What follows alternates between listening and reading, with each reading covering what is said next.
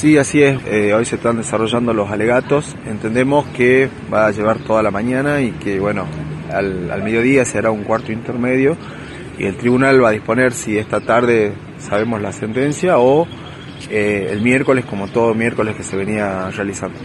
Eh, ¿Qué expectativas tienen como familia? Bueno, fue mucho tiempo de esperar que se que comience finalmente el juicio y ahora eh, con los ojos centrados seguramente en la condena.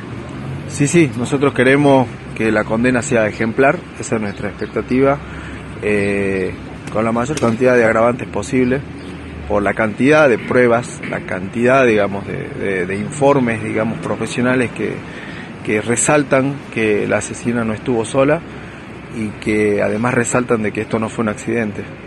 Eh, asimismo, también este, que se conozcan los cómplices. Así que, bueno, esas son nuestras expectativas eh, y, bueno, estamos a la espera de eso. Eh, tu papá, tu mamá seguramente están ahí participando de los alegatos presenciando los alegatos. Sí, así es, en este momento están arriba, no sé si ya comenzó el juicio, nosotros estamos esperando a, que, a poder subir. Eh, y sí, hoy serían los alegatos y si Dios quiere también la sentencia de la aparentemente única imputada por el caso de mi hermano. ¿Qué es lo que piden? ¿Cómo está la familia? ¿Cómo llega la familia a esta instancia final? Y nerviosa, la verdad. Eh, yo personalmente no, no podía dormir.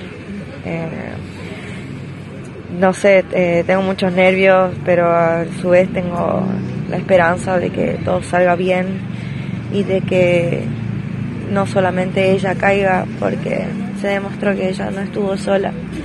Así que por eso dije aparentemente única imputada. Hasta ahora es la única imputada, pero hay más y ojalá que ellos también caigan porque tienen que caer.